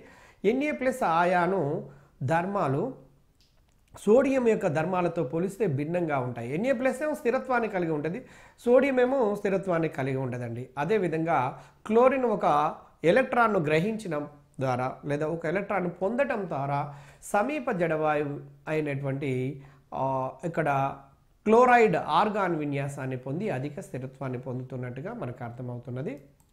తర్వాత చూడండి సోడియంకి ఒక క్లోరిన్ కలిపితే క్లోరైడ్గా మారుతుంది. క్లోరైడ్ లోపల ఉండబడే ఎలక్ట్రాన్ల సంఖ్య ఎంత అంటే ఎయిటీన్ ఎలక్ట్రాన్స్ అండి. క్లోరైడ్ లోపల ఎన్ని ప్రోటాన్లు ఉంటాయి అంటే పదిహేడు ప్రోటాన్లు ఉంటాయండి. ఇలా కూడా అడుగుతున్నారు. క్లోరైడ్ లోపల ఉండబడే ఎలక్ట్రాన్ మరియు ప్రోటాన్ల సంఖ్య. పద్దెనిమిది ఎలక్ట్రాన్లు పదిహేడు ప్రోటాన్లు ఉంటాయండి. మీ అందరికీ తెలిసిందే అది. ఆ విధంగా కూడా కొన్ని ఎంట్రన్స్లలో అడుగుతున్నాడు. కాబట్టి డిఎస్సి లోపల కూడా అడగటానికి ఛాన్స్ ఉండబడినటువంటి అంశము. తర్వాత నెక్స్ట్ ఇంకొక అంశాన్ని గమనించండి. క్లోరైడ్ యొక్క ఆయాను ధర్మాలు క్లోరిన్ పరమాణు ధర్మాలతో పోలిస్తే చాలా భేదాలను కలిగి ఉంటాయి. మీకు తెలిసినటువంటిది. అదేవిధంగా సోడియం పరమాణువు నుండి ఒక ఎలక్ట్రాన్ ఒక ఎలక్ట్రాను కోల్పోయి క్లోరిన్ పరమాణువును బదిలీ చేయటం వలన సమీప జడవాయువు అయినటువంటి ఎన్ఏ ప్లస్ అనేది సమీప జడవాయు విన్యాసం కలిగినటువంటి ఎన్ఏ ప్లస్ మరియు సిఎల్ మైనస్లుగా మారుతుంటాయి అన్నటువంటి విషయం మనకు తెలిసిందే. తర్వాత చూడండి ఇక్కడ గమనించండి. పరస్పర విరుద్ధ ఆవేశాలు కలిగినటువంటి ఎన్ఏ ప్లస్ మరియు సిఎల్ మైనస్ ఆయాన్లు దగ్గరికి వచ్చినప్పుడు వాటి మధ్యన స్థిర విద్యుత్ ఆకర్షణ బలాలు ఉండటం వల్ల ఏర్పడే బంధం అయానిక బంధము అంటారని two Na plus Cl two gives rise to two NaCl అంటే సోడియంకు క్లోరిన్కు మధ్యన ఏర్పడినటువంటి బంధము సోడియం క్లోరైడ్ మధ్యన అయానిక బంధం ఉన్నట్టుగా మనకు అర్థమవుతున్నది. తర్వాత మెగ్నీషియం ఆక్సైడ్ను తీసుకోండి. మీకు వెంటనే అర్థమవుతుంది మెగ్నీషియం ఆక్సైడ్ లోపల ఏ బంధం ఉంది అంటే magnesium second group oxygen sixth group magnesium అనేది లోహము ఆక్సిజన్ అనేది అలోహము. లోహపు అలోహాల మధ్యన ఇన్ జనరల్గా ఏర్పడే బంధము అయానిక బంధం అనేటువంటి విషయం మీకు తెలిసిందే. కాబట్టి మెగ్నీషియం సెకండ్ గ్రూప్ కాబట్టి దాని వ్యాలెన్సీ లోపల రెండు ఎలక్ట్రాన్లు ఉంటాయి కాబట్టి మీరు ఒక్కసారి స్క్రీన్ మీద అబ్జర్వ్ చేయండి. మెగ్నీషియం పరమాణువు యొక్క ఎలక్ట్రాన్ విన్యాసం two comma eight comma two అంటే one S two two S two two P six three S two అంటే దాని వేనిల్స్ లోపల రెండు ఎలక్ట్రాన్లు ఉంటున్నట్టుగా మనకు అర్థమవుతున్నది.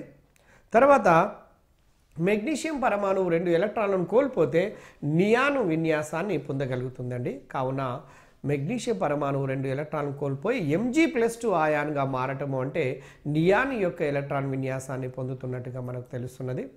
ఇక్కడ ఎంజీ నుంచి రెండు ఎలక్ట్రాన్లను కోల్పోయినట్టయితే Mg plus two plus two ఎలక్ట్రాన్స్గా మారుతున్నది అండి. మొదట్లోనేమో ఎంజీ అనేది తటస్థ పరమాణువు. ఎంజీ ప్లస్ టూగా మారిన తర్వాత అది ఆవేశపూరితమైనటువంటి ఆయానుగా మారింది అన్నటువంటి విషయాన్ని గమనించండి. మీరు ఇక్కడ చూసినట్లయితే మెగ్నీషియంలో two eight comma two comma eight comma two ఉన్నది ఎలక్ట్రాన్ విన్యాసము. అదే ఎంజీ ప్లస్ టూలో టూ కామా ఎయిట్ అంటే దీంట్లో వేలెన్సీలో ఎనిమిది ఎలక్ట్రాన్లను కలిగి ఉంటుంది. కాబట్టి ఎంజీ ప్లస్ టూ అనేది అత్యధిక స్థిరత్వాన్ని కలిగి ఉంటున్నట్టుగా అర్థమవుతున్నది. డియర్ ఫ్రెండ్స్ మీరు గమనిస్తూనే ఉన్నారు ఇక్కడ ఆక్సిజన్ పరమాణువు రెండు ఎలక్ట్రాన్లను గ్రహించడం వల్ల నియాన్ విన్యాసాన్ని పొందుతుంది అన్నటువంటి విషయము. అక్కడ మెగ్నీషియం యొక్క ఆక్సైడ్ లోపల మెగ్నీషియం రెండు ఎలక్ట్రాన్లను కోల్పోవటం ఆక్సిజన్ రెండు ఎలక్ట్రాన్లను గ్రహించే విషయం మనకు అర్థమవుతున్నది.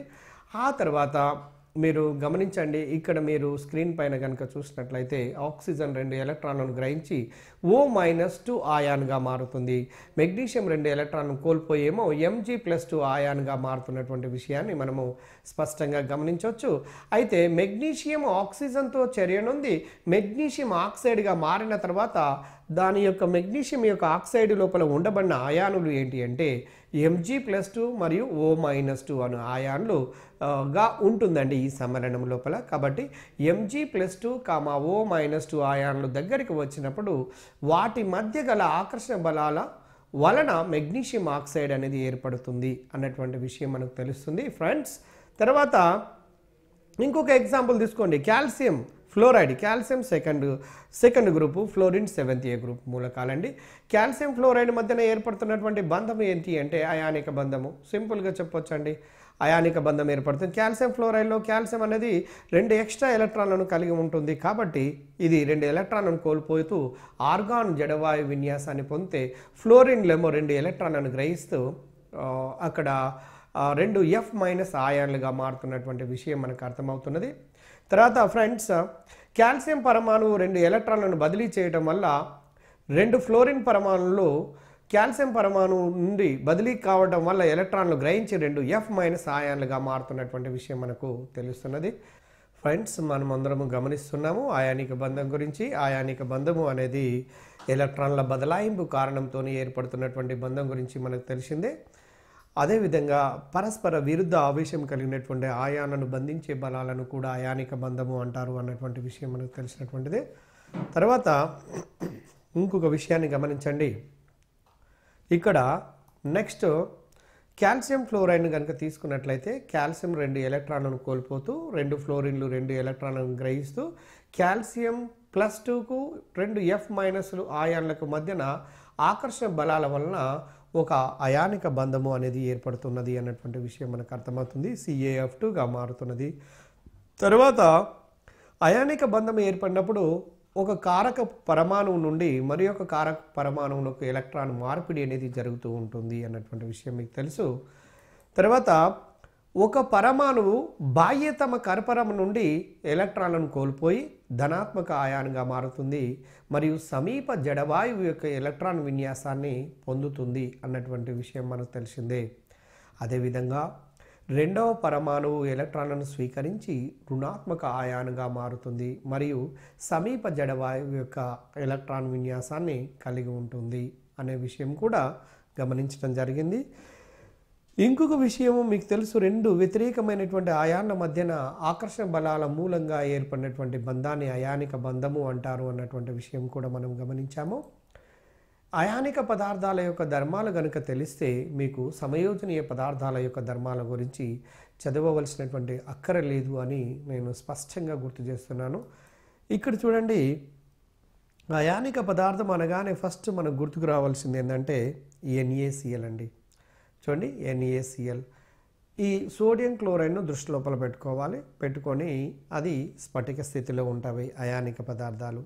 ఉప్పు నీటి లోపల కరుగుతుందంటే ఉప్పు నీటి లోపల కరుగుతూ ఉంటుంది ఆయాన్లుగా మారుతూ ఉంటుంది అన్నటువంటి విషయం మీకు తెలుసు. తర్వాత ఇది దిశ రహితమైనటువంటి బంధాన్ని కలిగి ఉంటుంది. అంటే దిశ అనేది ఉండదండి దీంట్లో స్పష్టమైనటువంటిది. అదేవిధంగా అధిక స్థిర విద్యుత్ ఆకర్షణ బలాల కారణం చేత ఏర్పడుతున్నటువంటి బంధము కాబట్టి ఇది బలమైనటువంటి బంధాన్ని ఏర్పాటు చేసుకుంటుంది కాబట్టి అయానిక పదార్థాల యొక్క ద్రవీభవన బాష్పీభవన ఉష్ణోగ్రతల విలువలు చాలా ఎక్కువగా ఉంటుంటాయి. వీటికి ఎక్కువగా ఉంటాయంటే సమయోజన పదార్థాలకు తక్కువగా ఉంటాయి. అయానిక పదార్థాలు అయానిక రూపంలో ఉంటే సమయోజనీయ పదార్థాలు పరమాణువులు లేదా అణువుల రూపంలో ఉంటాయి. అయానిక పదార్థాలకు ద్రవీభవన బాష్పీభవన ఉష్ణతలు ఎక్కువ అంటే సమయోజన పదార్థాలకు తక్కువ అనే అర్థము. ఇది దిశరహితమైనటువంటి బంధం అయితే ఇది దిశయుతమైనటువంటి బంధము. ఈ విధంగా ఒకదానితో ఒకటి పోలికను చేసుకుంటూ మనము ఈజీగా గుర్తుపెట్టుకోవచ్చండి. వీటి యొక్క ధర్మాలలో ఫస్ట్ది మీరు గమనించి చూసినట్లయితే అయానిక పదార్థాలు స్ఫటిక ఆకృతులతో ఉన్నటువంటి ఘన పదార్థాలు స్ఫటిక నిర్మాణము విరుద్ధ ఆవేశాలు కలిగినటువంటి ఆయాన్ల జంటల సముదాయాలండి.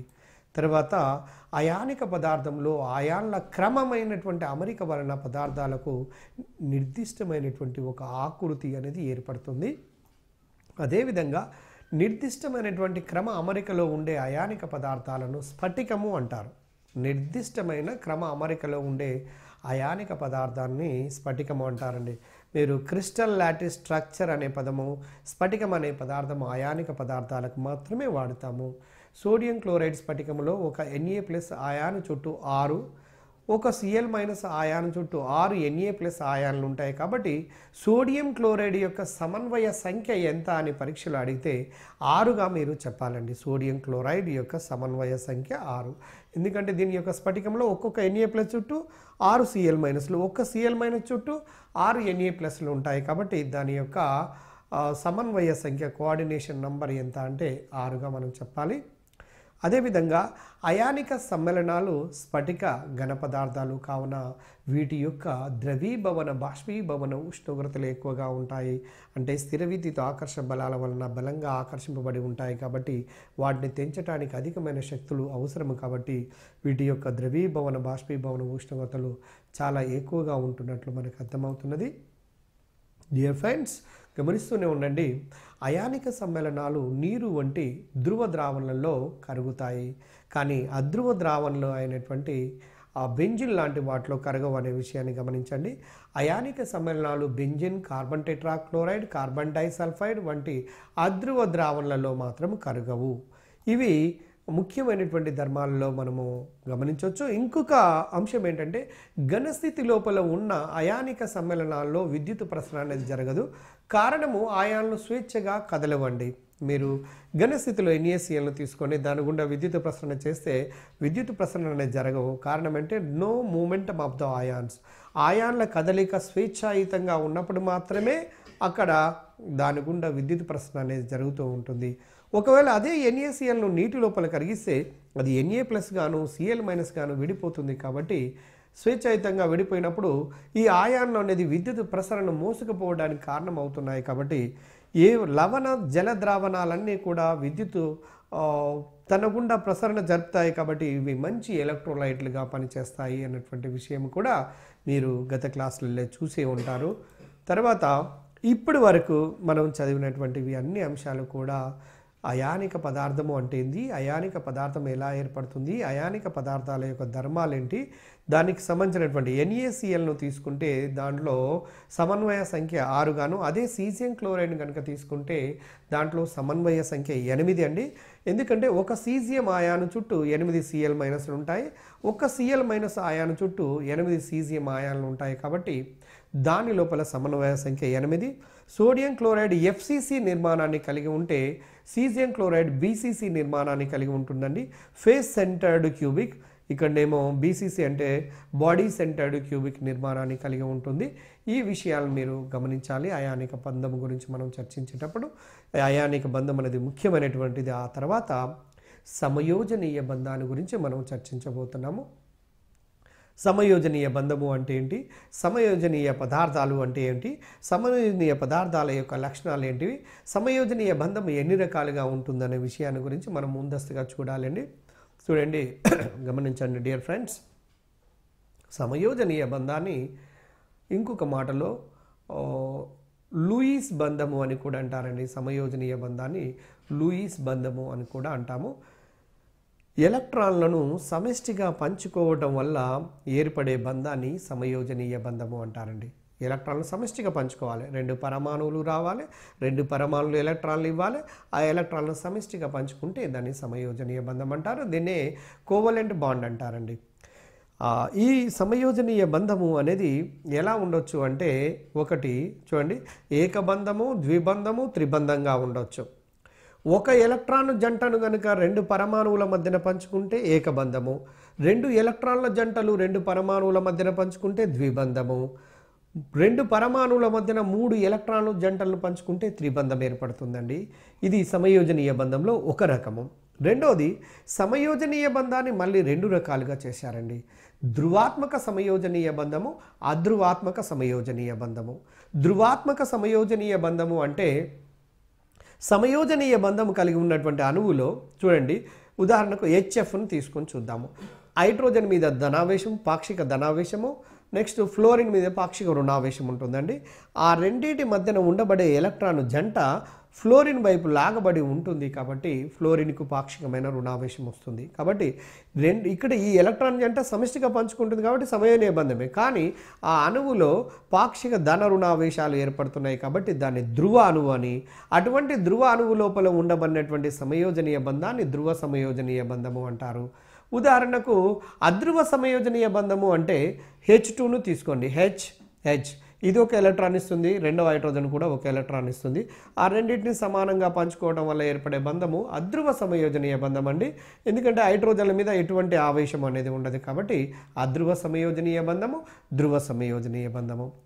అదేవిధంగా సిగ్మా బంధము పై బంధాలు కూడా మనము వీటిలో భాగాలుగా చెప్పుకోవచ్చు. సిగ్మా బంధము అనేది కూడా ఎలక్ట్రాన్లను పంచుకోవడం వల్ల ఏర్పడుతుంది. కాకపోతే ఆర్బిటాల మధ్యన రేఖీయ అతిపాతం వల్ల ఏర్పడుతుందండి ఈ సిగ్మా బంధము. అదే పై బంధం అయినట్లయితే ఆర్బిటాల మధ్యన పాక్షిక అతిపాతం ఉండటం వల్ల మాత్రమే ఏర్పడుతూ ఉంటుంది. అక్కడనైనా సిగ్మా బంధంలో కానీ పై బంధంలో కూడా ఎలక్ట్రాన్లను సమిష్టిగా పంచుకోవటం వల్ల మాత్రమే ఏర్పడుతుంది. కాబట్టి సమయోజనీయ బంధాన్ని ఓవరాల్గా ఏకబంధము ద్విబంధము త్రిబంధములుగా ఒకటి ధృవాత్మక అధ్రువాత్మక సమయోజనీయ బంధములుగా రెండవది. మూడవ అంశం ఏంటంటే సిగ్మా మరియు పై బంధములుగా వర్గీకరణ చేయటం జరిగిందండి. ఈ సమయోజనీయ బంధం అనేది అయానిక బంధం ఎంత ముఖ్యమైందో సమయోజనీయ బంధం కూడా అంతే ముఖ్యమైంది కాబట్టి దీని గురించి జాగ్రత్తగా మీరు గమనించాలని కోరుకుంటున్నాను.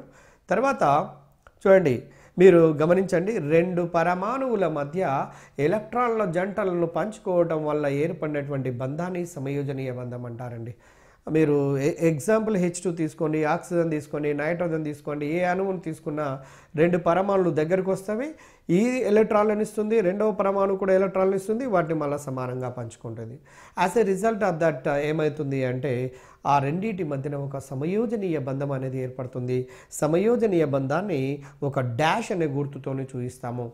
ఒక అణువు లోపల ఎన్ని డాష్ అనే సింబల్స్ను కలిగి ఉంటాయో దాని లోపల అన్ని సమయోజనీయ బంధాలు ఉన్నట్టుగా మనం చెప్పొచ్చు. ఉదాహరణకు సిహెచ్ ఫోర్ను తీసుకుంటే CH four CH CH CH CH నాలుగు డాష్లు అంటే నాలుగు సమయోజనీయ బంధాలను కలిగి ఉంటున్నట్టుగా మనకు అర్థమవుతున్నది. తర్వాత బంధములో పాల్గొనే రెండు పరమాణువులు బంధము ఏర్పడడానికి అవసరమైన ఎలక్ట్రాన్లను సమానంగా ఇస్తాయండి. ఉదాహరణకు హైడ్రోజన్ ఉన్నదనుకోండి ఇది ఒక్కొక్క ఎలక్ట్రాన్ ఇచ్చి సమానంగా పంచుకుంటుంది. ఆక్సిజన్ ఉన్నది అనుకోండి దాంట్లో రెండేసి ఒంటరి ఎలక్ట్రాన్లు ఉంటాయి కాబట్టి రెండు రెండు ఇంటి ఇచ్చేసి రెండు ప్లస్ రెండు నాలుగు ఎలక్ట్రాన్లు సమిష్టిగా పంచుకొని ఆక్సిజన్ అణువు లోపల ద్విబంధం ఏర్పడుతుంది. ఇక నైట్రోజన్ తీసుకుంటే వాటి వేలెన్సీలో మూడు ఒంటరి ఎలక్ట్రాన్లు ఉంటాయి కాబట్టి మూడు మూడు ఇచ్చేసి మొత్తము మూడు జంటలుగా ఉంటాయి కాబట్టి ఈ ఆరు ఎలక్ట్రాన్లను పంచుకోవడం వల్ల నైట్రోజన్ లోపల త్రిబంధం ఏర్పడుతున్నట్టుగా మనకు అర్థమవుతున్నది. తర్వాత బంధ ఎలక్ట్రాన్ల జంటను రెండు పరమాణులు సమిష్టిగా పంచుకుంటాయండి. బంధ ఎలక్ట్రాన్ల జంటను రెండు పరమాణులు సమానంగా పంచుకుంటాయి. దానివల్ల ఏర్పడే బంధాన్ని సమయోజనీయ బంధము లేదా కోవలెంట్ బంధము అంటారు. దీన్ని లూయిస్ బంధం అని కూడా అంటాము. ఎలక్ట్రాన్ బదిలీ సాధ్యం కాని పరమాణువుల మధ్య మాత్రమే సమయోజనీయ బంధం ఏర్పడుతుందండి. ముఖ్యంగా మీరు చూడండి గమనించండి. లోహ అలోహాల మధ్యనేమో అయానిక బంధం ఏర్పడితే ఎస్ బ్లాక్ పి బ్లాక్ మధ్యన చూడండి అయానిక బంధం ఏర్పడితే పి బ్లాక్ లోపల ఉండబడినటువంటి మూలకాల మధ్యన సాధారణంగా సమయోజనీయ బంధాన్ని మనము గమనించవచ్చు. ఇక తర్వాత సమయోజనీయ బంధానికి ఉదాహరణలు మీరు గమనించి చూడండి. ఆ హెచ్ టూ అణువును తీసుకున్నట్లయితే రెండు హైడ్రోజన్ పరమాణులు సంయోగం వలన హైడ్రోజన్ అనే అణువు ఏర్పడుతున్నటువంటి విషయాన్ని గమనించవచ్చు. హైడ్రోజన్ పరమాణు hydrogen dot hydrogen dot one S one one S one. ఆ రెండు డాట్స్ని చూడండి ఎలా పంచుకుంటున్నాయో స్క్రీన్ పైన మీరు అబ్జర్వ్ చేయొచ్చు. హెచ్ టూ అనేది ఎలా ఏర్పడింది అనేది అంటే ఆ జంటను సమిష్టిగా పంచుకోవటం వల్ల హెచ్ టూ అణువు లోపల నీకు సింగిల్ బాండ్ అనేది ఏర్పడుతున్నటువంటి విషయం గమనిస్తున్నాము. హైడ్రోజన్ పరమాణువులో ఒకే ఒక ఎలక్ట్రాన్ ఉంటుంది. కారణం దాని యొక్క పరమాణు సంఖ్య ఒకటే ఉండటం. అదేవిధంగా హైడ్రోజన్ పరమాణువు స్థిరత్వం పొందాలి అంటే రెండు ఎలక్ట్రాన్లు కలిగి ఉండాలండి. రెండు ఎలక్ట్రాన్లను కలిగి ఉండాలంటే ఇది ఎలక్ట్రాన్ స్వతహాగా గ్రహించలేదు కాబట్టి ఓన్లీ పంచుకోవడానికి మాత్రమే ఇష్టపడుతుంది కాబట్టి సమయోజనీయ బంధము అనేది ఏర్పడుతూ ఉంటుంది. స్థిర ఎలక్ట్రాన్ విన్యాసాన్ని పొందాలంటే ప్రతి హైడ్రోజన్ పరమాణువుకు ఒక ఎలక్ట్రాన్ అవసరం. కాబట్టి స్థిర ఎలక్ట్రాన్ విన్యాసం పొందాలంటే ప్రతి హైడ్రోజన్ పరమాణుకు ఇంకొక ఎలక్ట్రాన్ అనేది అవసరం కాబట్టి రెండు హైడ్రోజన్ పరమాణులోని ఒక్కొక్క ఎలక్ట్రాన్ను కోల్పోదు. కోల్పోకుండా ఫ్రెండ్స్ మీరు గమనిస్తూనే ఉన్నారు. మనము సమయోజనీయ బంధం గురించి మనం చదువుతున్నాము. ఎలక్ట్రాన్లను పంచుకోవడం వల్ల ఏర్పడే బంధాన్ని సమయోజనీయ బంధము అంటారని. ఈ విధమైనటువంటి పరిస్థితులలో పరమాణువులకు స్థిర ఎలక్ట్రాన్ విన్యాసము కలిగి ఉండటం వల్ల లేదా స్థిర ఎలక్ట్రాన్లను ఈ విధమైనటువంటి పరిస్థితుల్లో ఒకసారి గమనించండి. పరమాణువులకు స్థిర ఎలక్ట్రాన్ విన్యాసము ఎలక్ట్రాన్లను పంచుకోవటం వల్ల ఏర్పడుతుందండి. ఇంతో అయానిక బంధంలో ఎలక్ట్రాన్లను బదలాయింపు వల్ల ఏర్పడితే ఇక్కడ పంచుకోవడం వల్ల ఏర్పడుతుంది అన్నటువంటి విషయం మనం గమనిస్తున్నాము. రెండు హైడ్రోజన్ అణువులో రెండు హైడ్రోజన్ పరమాణువులు ఒక్కొక్క ఎలక్ట్రాన్ ఇచ్చి ఆ ఎలక్ట్రాన్ జంటను రెండు పరమాణువులు సమిష్టిగా పంచుకుంటాయి కాబట్టి హెచ్ టూలో ఏకబంధం ఉంటుంది అన్న విషయం మనకు అర్థమవుతుంది. పంచుకోబడిన ఎలక్ట్రాన్ జంటను బంధ ఎలక్ట్రాన్ జంట అని బంధ జంట ఎలక్ట్రాన్లు రెండు పరమాణువులను అంటిపెట్టుకొని ఉంచుతాయండి. ఇక్కడ తర్వాత ఈ జత బంధ ఎలక్ట్రాను జంట ఎలక్ట్రానులు ఒక సమయోజనీయ బంధాన్ని ఏర్పాటు చేస్తాయి. ఒక జంట ఒక సమయోజనీయ బంధం. రెండు జంటలు రెండు సమయోజనీయ బంధాన్ని. మూడు జంటలు మూడు సమయోజనీయ బంధాన్ని ఏర్పాటు చేస్తాయండి. అదేవిధంగా హైడ్రోజన్ అణువులో రెండు హైడ్రోజన్ పరమాణువుల మధ్యన ఏకబంధం ఉంటున్నటువంటి విషయం మనకు తెలిసిందే. అదేవిధంగా రెండు క్లోరిన్ పరమాణువుల మధ్యన కూడా చూడండి వాటి మధ్యన వేలెన్సీలో ఏడు ఎలక్ట్రాన్లు ఉన్నప్పటికీ క్లోరిన్లో ఒక్కొక్క ఒంటరి ఎలక్ట్రాన్ ఉంటుంది కాబట్టి రెండు కూడా దగ్గరకు సమీపం లోపలికి వచ్చి పంచుకోవటం వల్ల క్లోరిన్ అణువులో సమయోజనీయ బంధం ఏర్పడుతున్నట్టుగా అర్థమవుతున్నది. అదేవిధంగా ఒక్కొక్క క్లోరిన్ పరమాణుకు స్థిరమైనటువంటి జడవాయు ఎలక్ట్రాన్ విన్యాసాన్ని పొందాలంటే ఒక్క ఎలక్ట్రాన్ అవసరము అనే విషయం మీకు అర్థమైంది. రెండు క్లోరిన్ పరమాణువులు ఒక్కొక్క ఎలక్ట్రాన్ని ఇచ్చి ఆ ఎలక్ట్రాన్ జంటను రెండు పరమాణులు సమిష్టిగా పంచుకోవడం వల్ల స్థిరమైనటువంటి ఎలక్ట్రాన్ విన్యాసాన్ని పొంది సమయోజనీయ బంధాన్ని కలిగి ఉంటున్నటువంటి విషయం మనకు అర్థమైంది.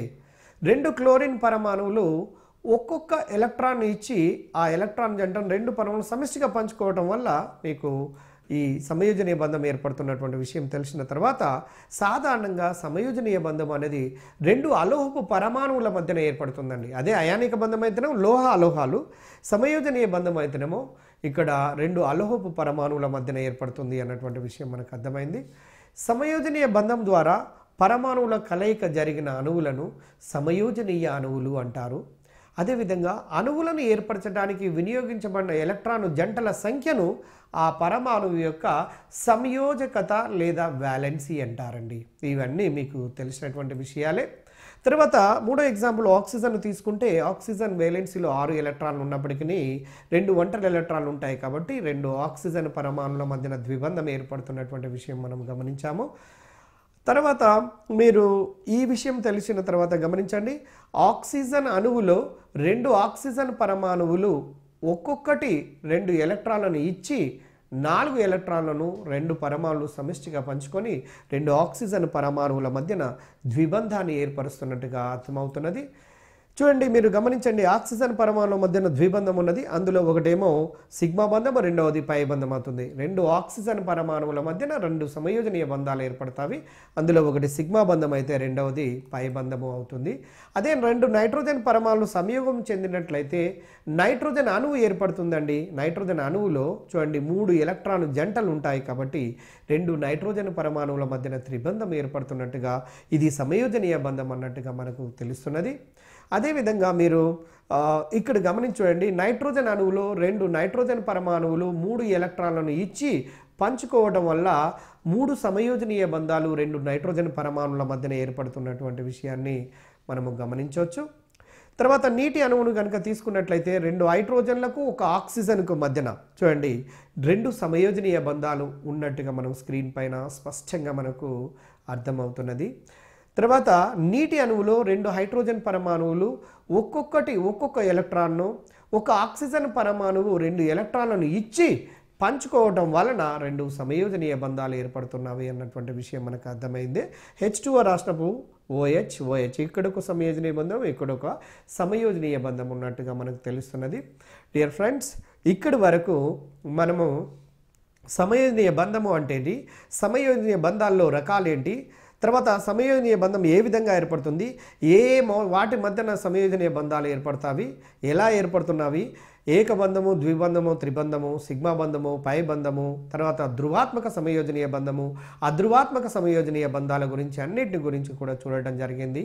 ఇక నెక్స్ట్ కెమికల్ బాండ్ పార్ట్ టూలో నెక్స్ట్ సమయోజనీయ పదార్థాల యొక్క లేదా సమయోజనీయ సమ్మేళనాల యొక్క ధర్మాలను మనం చూడబోతున్నాము. కాబట్టి ముందస్తుగా ఈ పార్ట్ వన్ కెమికల్ బాండ్ నుంచి స్పష్టంగా మీకు ఈ క్లాస్ ద్వారా పూర్తి పటుత్వాన్ని సాధించడానికి ప్రయత్నం చేసి డెఫినెట్గా రేపు రాయబోయే టీఆర్టీ ఎగ్జామినేషన్లో సక్సెస్ సాధించాలని కోరుకుంటున్నాను.